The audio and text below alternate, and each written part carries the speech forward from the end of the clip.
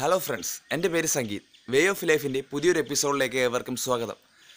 ഞാൻ ഇന്ന് നിങ്ങളുടെ മുന്നിൽ നിൽക്കുന്നത് ഒരു എഡ്യൂക്കേഷണൽ ടിപ്സുമായിട്ടാണ് പ്ലസ് ടു കഴിഞ്ഞവർക്ക് ഇനി എന്ത് എന്നുള്ളതിന്റെ ഒരു സൊല്യൂഷൻ അപ്പോൾ കൂടുതൽ പറഞ്ഞ് ഞാൻ ദീർഘിപ്പിക്കുന്നില്ല. നമുക്ക് വീഡിയോയിലോട്ട് കിടക്കാം.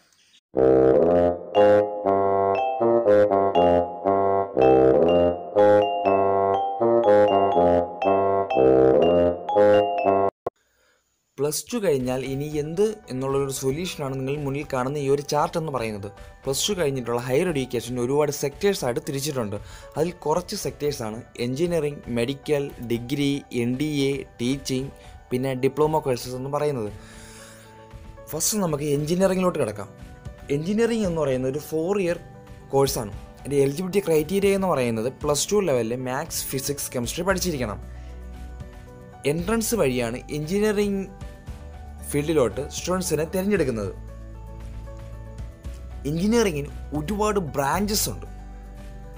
അതിലുള്ള കുറച്ച് ബ്രാഞ്ചസ് ആണ് computer science I T E C E C എന്ന് പറയുന്നത് ഇലക്ട്രോണിക്സ് ആണ്. ട്രിപ്പിൾ ഇ എന്ന് പറയുന്നത് ഇലക്ട്രിക്കലും civil engineering mechanical chemical aeronautical aerospace agriculture automobile biomedical biotechnology ceramic engineering industrial engineering എൻവയോൺമെന്റൽ engineering marine engineering mining engineering silk and textiles engineering wide range of engineering branches നമുക്ക് all ഇന്ത്യയിൽ available ആണ്. പക്ഷേ ഈ പറയുന്ന branches കേരളത്തിൽ available ആവണമെന്നില്ല. കുറച്ച് branches മാത്രമേ കേരളത്തിൽ അവൈലബിൾ ആയിട്ടുള്ളൂ. ബാക്കി കേരളത്തിന് പുറത്ത് അവൈലബിൾ ആണ്. നമ്മുടെ ടേസ്റ്റ് അനുസരിച്ച് നമുക്കത് തിരഞ്ഞെടുത്ത് പഠിക്കാവുന്നതാണ്. അടുത്ത സെക്ടറാണ് മെഡിക്കൽ എന്ന് പറയുന്നത്. മെഡിക്കൽ പഠിക്കണമെന്നുണ്ടെങ്കിൽ അതിന്റെ എലിജിബിലിറ്റി ക്രൈറ്റീരിയ എന്ന് പറയുന്നത് plus two level biology physics chemistry പഠിച്ചിരിക്കണം. ഈ മെഡിക്കൽ തന്നെ നമ്മൾ മൂന്നായിട്ട് തിരിച്ചിട്ടുണ്ട്. മെഡിസിൻ എന്നും അലൈൻഡ് ഹെൽത്ത് സർവീസ് എന്നും പാരാമെഡിക്കൽ എന്നും. ഫസ്റ്റ് നമുക്ക് മെഡിസിനിലോട്ട് പോകാം മെഡിസിൻ എന്ന് പറയുന്നത് ഒരു ഫൈവ് ഇയർ കോഴ്സാണ് എൻട്രൻസ് വഴിയാണ് മെഡിസിനിലോട്ട് സ്റ്റുഡൻസിനെ തിരഞ്ഞെടുക്കുന്നത്. മെഡിസിന്റെ കുറച്ച് ബ്രാഞ്ചസ് ആണ്. Allopathy Unani homeopathy Ayurveda naturopathy agriculture dental veterinary physiotherapy. അത് കഴിഞ്ഞ് വരുന്നതാണ് അലൈൻഡ് ഹെൽത്ത് സർവീസ് എന്ന് പറയുന്നത്. അലൈൻഡ് ഹെൽത്ത് സർവീസിൽ നമ്മൾ കോഴ്സ് തിരഞ്ഞെടുക്കുന്നതിനനുസരിച്ച് അത് ടു ഇയർ കോഴ്സ് ആവാം തിയർ ത്രീ ഇയർ കോഴ്സ് ആവാം. അലൈൻഡ് ഹെൽത്ത് സർവീസിന്റെ കുറച്ച് ബ്രാഞ്ചസ് ആണ്. B pharm B S C nursing occupational therapy anaesthesia cardiac medical lab radio therapy clinical optometry nuclear medicine operation theatre physician assistant respiratory care medical lab technician എന്ന് പറയുന്നത്. ഇതിലുള്ള മിക്കുള്ള കോഴ്സും കേരളത്തിൽ തന്നെ അവൈലബിൾ ആണ്. പിന്നെ വരുന്നതാണ് പാരാമെഡിക്കൽ എന്ന് പറയുന്നത്. അതിന്റെ ബ്രാഞ്ചസ് ആണ് സോറി അതിന്റെ കോഴ്സസ് ആണ് dialysis technician E C G technician X-ray operation theatre technician എന്ന് പറയുന്നത്. അടുത്ത സെക്ടറാണ് ഡിഗ്രി എന്ന് പറയുന്നത്. ഡിഗ്രിയുടെ മെയിനായിട്ട് ക്ലാസിഫൈ ചെയ്തേക്കുന്നത് B A B S C B com എന്നാണ്.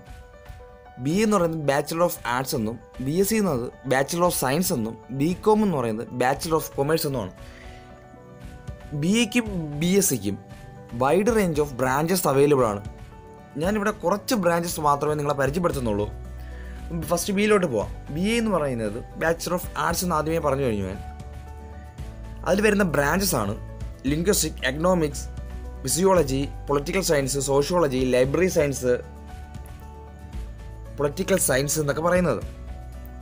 അതുപോലെ തന്നെയാണ് ബി എസ് സിക്കും B S സിക്കും wide range of branches available ആണ്.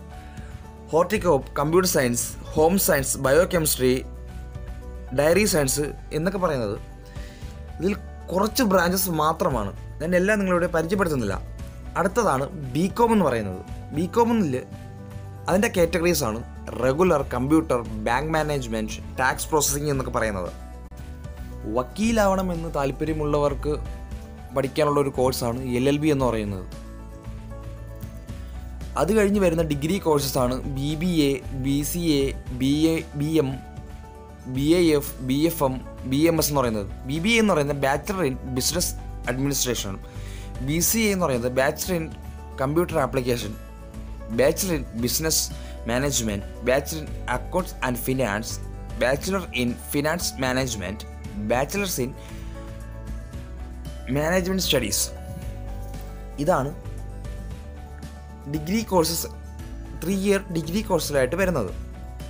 അടുത്ത ഡ്യുവൽ ഡിഗ്രി എന്ന് പറയുന്ന ഒരു സെക്ടറുണ്ട് ഡ്യുവൽ ഡിഗ്രി എന്ന് പറയുന്നത് ഫോർ ഇയർ കോഴ്സാണ് രണ്ട് ഡിഗ്രി ചേർന്നതാണ് ഡ്യുവൽ ഡിഗ്രി എന്ന് പറയുന്നത്. അതിൽ വരുന്ന കുറച്ച് ബ്രാഞ്ചസ് ആണ് B A plus B Ed B S C plus B Ed B A plus L L B B com plus L L B B B M plus L L B B B A plus L L B എന്ന് പറയുന്നത്. അത് കഴിഞ്ഞ് വരുന്ന ഒരു സെക്ഷനാണ് professional course എന്ന് പറയുന്നത്. I C W A C S C A ഇത് മൂന്നും അക്കൗണ്ട് സംബന്ധമായ ഒരു കോഴ്സസ് ആണ്. ഈ ഐ സി ഡബ്ല്യു എ എന്ന് പറയുന്നത് institution of cost and work accountant of India എന്ന് പറയുന്നതിന്റെ ഒരു കോഴ്സാണ് സി എസ് എന്ന് പറയുന്നത് കമ്പനി സെക്രട്ടറിയും സി എ എന്ന് പറയുന്നത് ചാർട്ടേഡ് അക്കൗണ്ടന്റുമാണ് ഇതൊരു പ്രൊഫഷണൽ കോഴ്സാണ് അക്കൗണ്ട് സംബന്ധമായ അതായത് ടാക്സും മറ്റു കാര്യങ്ങളും സംബന്ധമായ ഒരു കോഴ്സാണ് ഇത് മൂന്നും. അടുത്ത സെക്ടറാണ് എൻ ഡി എ എന്ന് പറയുന്നത്. എൻ ഡി എന്ന് പറയുന്നത് national defence academy. Plus two കഴിഞ്ഞ് ആർമിയിലോട്ട് പോകാൻ താല്പര്യമുള്ള ഒരുപാട് പേര് കാണും. അവർക്ക് ബെസ്റ്റ് ഓപ്ഷനാണ് എൻ ഡി എ എന്ന് പറയുന്നത്. ആർമി നേവി എയർഫോഴ്സ് ഇവരാണ് എൻ ഡി എ റിക്രൂട്ട് ചെയ്യുന്നത്. എല്ലാ വർഷവും എൻ ഡി എക്ക് എക്സാംസ് വരുന്നുണ്ട്. അത് പാസ്സായവരെയാണ് അക്കാഡമിയിലോട്ട് തിരഞ്ഞെടുക്കുന്നത്. പ്ലസ് ടു കഴിഞ്ഞ് പഠിപ്പിക്കാൻ താല്പര്യമുള്ള ഒരുപാട് പേര് കാണും. അവർക്ക് നല്ലൊരു ഓപ്ഷനാണ് ഈ ബി എഡ് എന്നും ഈ പി ടി ടീച്ചറിന്റെയും ചൈൽഡ്ഹുഡ് കെയർ എഡ്യൂക്കേഷന്റെയും ബ്രാഞ്ചസ് വരുന്നത്. ഇതെല്ലാം ടു ഇയർ കോഴ്സസ് ആണ്. അടുത്തതെന്ന് പറയുന്നത് ഡിപ്ലോമ കോഴ്സസ്. ഡിപ്ലോമ കോഴ്സസ് എന്ന് പറയുന്നത് may be it will be one year course ആവാം. സിക്സ് മന്ത് കോഴ്സ് ആവാം. ചിലപ്പോൾ ടു ഇയർ കോഴ്സും ആവാം. പ്ലസ് ടു കഴിഞ്ഞ് ജോലി കിട്ടാൻ സാധ്യത ഒരുപാടുള്ള ഒരു കോഴ്സാണ് ഈ ഡിപ്ലോമ കോഴ്സ് എന്ന് പറയുന്നത്. അതിന്റെ കുറച്ച് ബ്രാഞ്ചസ് ആണ്. ഈ foreign language fire safety journalism home science tourism hotel management rural development designing film making management എന്ന് പറയുന്നത്. അപ്പോൾ പ്ലസ് ടു കഴിഞ്ഞ് നമ്മൾ മുന്നിൽ വൈഡ് റേഞ്ച് ഓഫ് ബ്രാഞ്ചസ് ആണ് അവൈലബിൾ ആയിട്ടുള്ളത്. നിങ്ങളുടെ ഇഷ്ടാനുസരണം നിങ്ങൾക്ക് ഏത് ബ്രാഞ്ചാണ് താല്പര്യം എന്നനുസരിച്ച് നിങ്ങൾക്ക് തിരഞ്ഞെടുക്കാവുന്നതേ ഉള്ളൂ. ഇപ്പോൾ നിങ്ങൾക്ക് ഏകദേശം മനസ്സിലേക്കാണ് ഏതൊക്കെ ടൈപ്പ് ഓഫ് കോഴ്സസ് ഉണ്ടെന്നും ഏതൊക്കെ ബ്രാഞ്ചസ് ഉണ്ടെന്നും ഏകദേശം മനസ്സിലേക്കാണ്. ഒരിക്കലും മറ്റുള്ളവരുടെ നിർദ്ദേശപ്രകാരം ഒരു കോഴ്സ് എടുക്കാൻ നിൽക്കരുത്. നിങ്ങൾക്ക് സ്വന്തമായിട്ട് ഇപ്പോൾ നിങ്ങൾക്ക് ഒരു കോഴ്സ് ചൂസ് ചെയ്യാൻ പറ്റുന്നില്ല എന്നുണ്ടെങ്കിൽ മറ്റുള്ളവരടുത്ത് ചോദിക്കുക ഏതൊക്കെ ടൈപ്പ് കോഴ്സസ് ഉണ്ട് എന്ന്. അതിൽ നിന്ന് നിങ്ങൾക്ക് താല്പര്യമുള്ള കോഴ്സ് മാത്രം തിരഞ്ഞെടുക്കാൻ ശ്രമിക്കുക. നിങ്ങളുടെ ഡ്രീം മാത്രം നിങ്ങൾ ചൂസ് ചെയ്താൽ മതി. മറ്റുള്ളവരുടെ ഡ്രീമിന്റെ ബേക്കിൽ നിന്ന് പോയി കഴിഞ്ഞാൽ നിങ്ങൾക്ക് ഒരിക്കലും സക്സസ് ഉണ്ടാവത്തില്ല. അപ്പോൾ ആൾ ദി ബെസ്റ്റ്